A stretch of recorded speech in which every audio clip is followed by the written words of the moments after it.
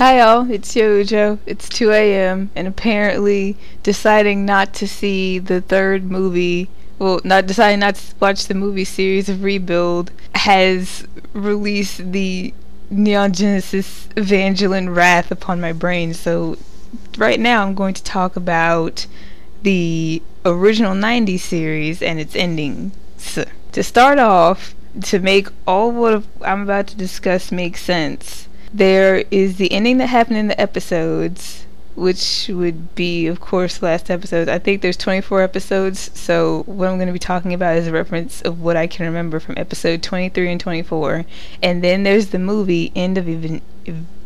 You know the word where all that crazy shit happens that people like to talk about and make the fan depictions of and whatnot. But I'm going to, now that I've said that, I'm going to say that I prefer the ending that happened in the show. And nothing against any of you EOE fans. EOE is a great movie. It, I mean, it had everything it needed to really, really, really, really fuck your mind hard. But it's like after watching already 22 episodes of it, it's like episode 23 and 24 were like the big relief. And it was like when Shinji actually had his revelation. And it's like he didn't have a revelation in EOE, and that's disappointing. This is what I think happened at the end of the um, movie not the movie of the show the ending that i prefer um what we saw in the previous episode, either episode 23 or 24, most likely 23 if it's 24 episodes, where Shinji was friends with Asuka and his mom and dad were alive and, you know, normal, and they met Rei as a transfer student and Misato as a teacher.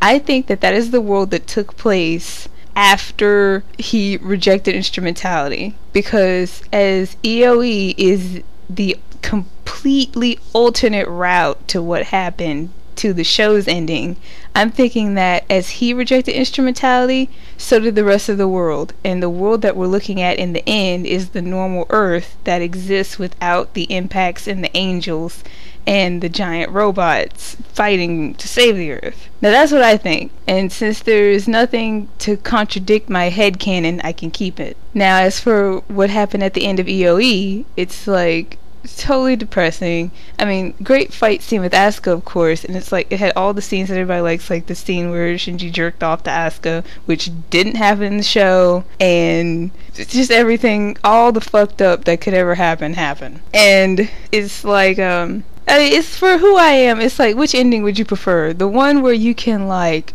have like a whole theory like this is what happened I was seeing is how there's nothing to say that this didn't happen this happened. And even though this isn't really evidence of it happening you can say this is evidence like what I just did with the alternate world that in, that Shinji saw in his mind visual of him being a normal teenager living a normal life with Asuka who still had the connection clips on for some reason I don't know. And you know just stuff like that i prefer that over okay now they're on this big red bloody ball of fuck. There are no other people on there except shinji and asuka who's kind of like in a coma i guess right now.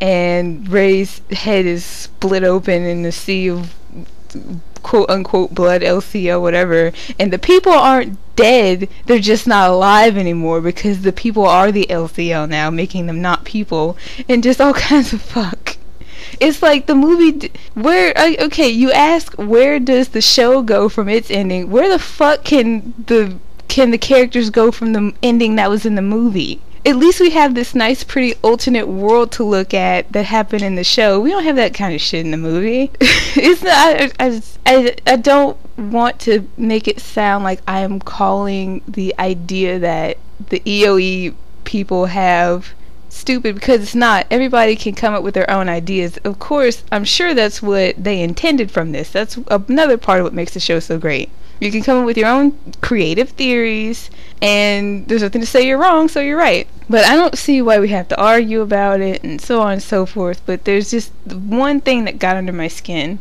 There are some people that think that what happened in the show was how they put it inside Shinji's mind and what happened in the movie was outside of Shinji's mind. I don't even understand what that means, let alone how that would even make sense. I, I try to understand it. The the closest I got was apparently Shinji suddenly fucking lost his mind and now he's hallucinating and he's living in an alternate reality.